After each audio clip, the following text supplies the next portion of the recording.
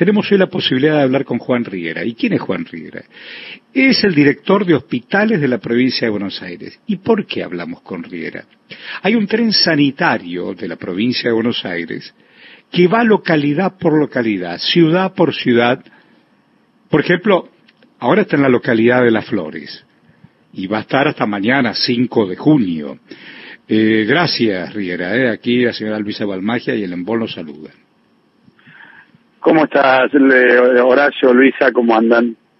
Bien, Eh, cuando tenemos eh, otros o buenas noticias, hoy es un día de buenas noticias, sobre todo que tiene que ver con protegernos entre que la Sputnik aquí, recién hablábamos con la señora Volnovich a propósito cómo cuidar a nuestros adultos mayores. Contale para aquellos que no tienen la menor idea qué es un tren sanitario.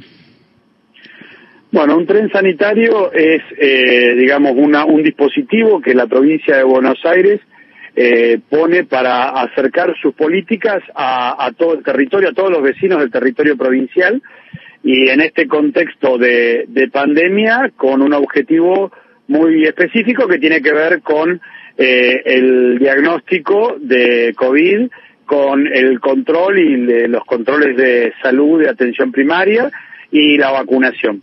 Eh, y, bueno, y se, se eligió la modalidad del tren sanitario porque es aquel transporte que, que te puede llevar a todos aquellos lugares que, que tienen dificultad en el acceso a, a los grandes centros urbanos donde eh, puedan tal vez hacer alguna consulta y demás y la provincia quiere quiere estar más cerca de la gente en un contexto muy difícil como es el que nos toca vivir en este momento en el marco de la pandemia del COVID. Eh, eso es formidable, Juan. Ah, sí.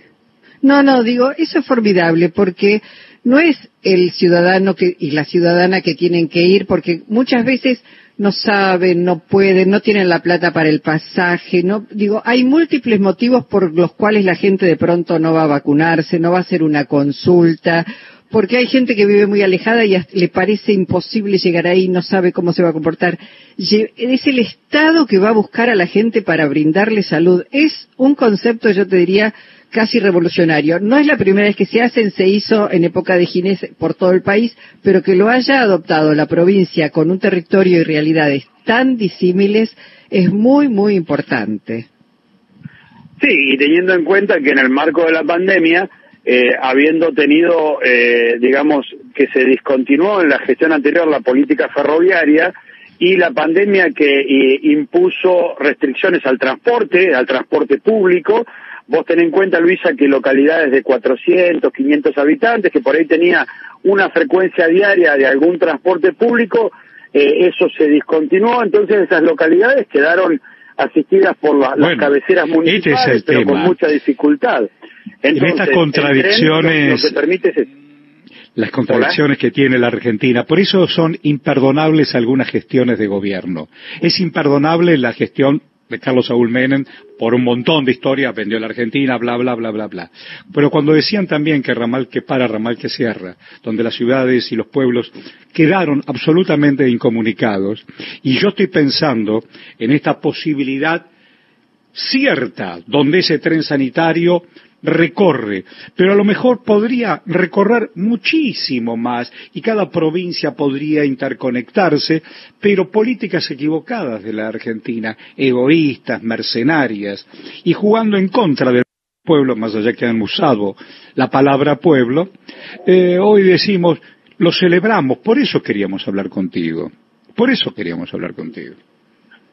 Y bueno, se, se trata de eso, Horacio, de, de que las políticas públicas eh, vuelvan a manos del pueblo, porque eh, fundamentalmente lo que tratamos de hacer es interpretar las necesidades de la comunidad y poner todos los dispositivos a nuestro alcance. Ten en cuenta, Horacio, que esto es una gestión conjuntamente con ferrocarriles argentinos, que reconvirtió eh, dos vagones de, de, los vagones portugueses que estaban eh, absolutamente abandonados por la gestión anterior y los transformó en vagones eh, que están operativos, muy cómodos. Y es bueno que lo digas, estaban abandonados. Por eso cuando uno escucha cada sanatero mercenario, exfuncionario o comunicador trucho, abandonados, así como habían abandonado el Ministerio de Salud para reconvertirlo en Secretaría de Salud.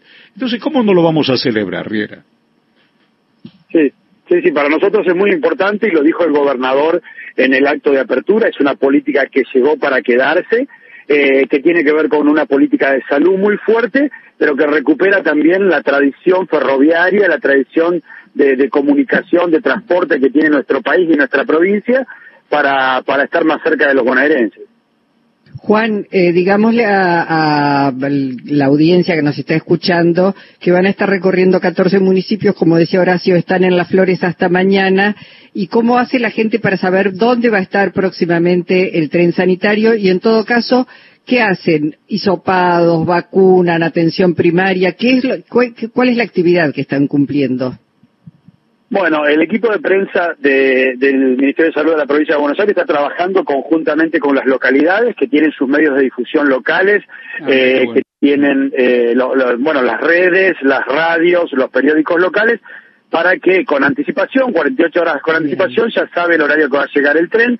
Eh, a su vez, el, el, Ministerio articula con los distritos para que los, los trabajadores de la salud, los promotores de salud, ya vayan haciendo un relevamiento de las personas y eh, las personas también se pueden acercar de manera espontánea al tren.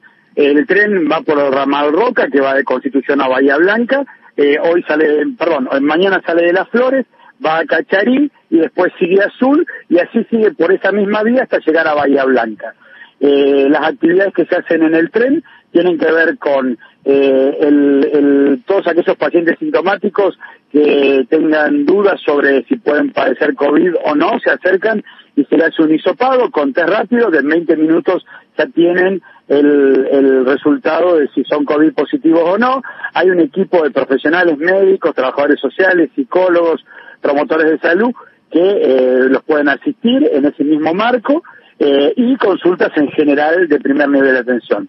Y después, en lo que refiere a vacunación, por ahora estamos con vacunación calendario, porque ten en cuenta, Luisa, que durante el periodo de la pandemia se retrasó un poco porque la gente ya concurría menos y demás a la vacuna de calendario, así que estamos reforzando esa política eh, que se hace y se completan las vacunas. Hoy dieron antineumocóxica, dieron eh, la antigripal, así que hay una fuerte campaña de vacunación.